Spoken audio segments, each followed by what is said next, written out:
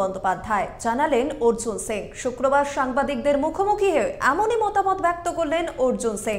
এবং তিনি জানালেন, মমতা বন্দ্যোপাধ্যায় এসএসকেএম বাঙুর, এনআরএস হাসপাতালের থ্রেড কালচারের খোঁজ রেখেছেন কি?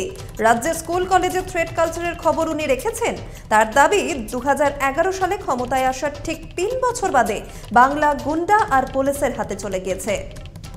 তার পাশাপাশি তিনি আরও বিভিন্ন বিষয়ে মতামত রেখেছেন এবং তারই মাঝে তিনি জানালেন, মমতা বন্দ্যোপাধ্যায় সম্পর্কে এমনই কথা যে বাংলায় থ্রেড কালচারের জনক মমতা বন্দ্যোপাধ্যায়। শুক্রবার সাংবাদিকদের মুখোমুখি হয়ে তিনি জানান, মমতা বন্দ্যোপাধ্যায়, এসএসকেএম সহ বাঙুর এনআরএস হাসপাতালের থ্রেড কালচার সম্বন্ধে কোনো রকম খোঁজ রেখেছেন কি?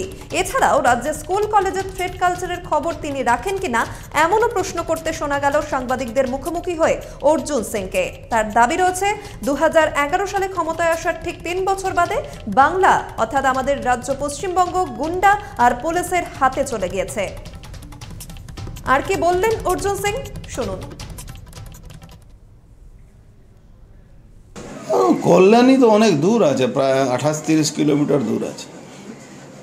বাড়ির পাশে এসএসকেএমের থ্রেড কালচার কত আছে উনি খোঁজ নিয়েছেন? বা বাঙুড়ে কত থ্রেড কালচার আছে উনি খবর নিয়েছেন? বা এনআরএসে কত থ্রেড কালচার আছে খবর নিয়েছেন? আরজিকারে কত থ্রেড কালচার আছে খবর নিয়েছেন? উনি স্কুলে, কলেজে কত থ্রেড কালচার আছে উনি খবর নিয়েছেন? ওনার কাছে সময় কোথায় উনি থ্রেড কালচার নিয়ে চিন্তা করবেন? পশ্চিমবাংলা থ্রেড কালচারের জনক হলেন উনি। তিন বছর দু হাজার এগারো পরে তিন বছর পর থেকে বাংলায় গুন্ডার আর পুলিশের হাতে চলে গেছে। বাংলার মানুষ খুব তাড়াতাড়ি জিনিসটা ভুলে যায়। এই মুন্না সর্দার ওই গার্ডেন রিচে ওই স্কুল কলেজ ইলেকশনে একটা পুলিশ ইন্সপেক্টরকে মেরে দিয়েছিল, গুলি মেরে দিয়েছিল। তারপরে তার বেল হয়ে গেল, তারপরে সব কেস ধামাচাপা পড়ে গেল।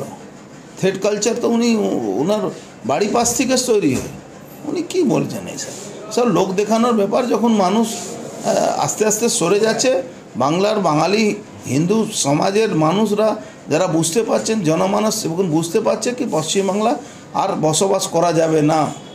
যেভাবে থ্রেড কালচার শুরু হয়েছে, যেভাবে এক্সটর্শন শুরু হয়েছে, যেভাবে লুট শুরু হয়েছে যেভাবে স্বাস্থ্য ব্যবস্থাটাকে ভেঙে পড়েছে, দু নম্বরই ওষুধ সাপ্লাই হয়ে ইউজ আর্টিকেলগুলো সাপ্লাই হয়ে যাচ্ছে, বিক্রি হয়ে যাচ্ছে পরিষ্কার করে।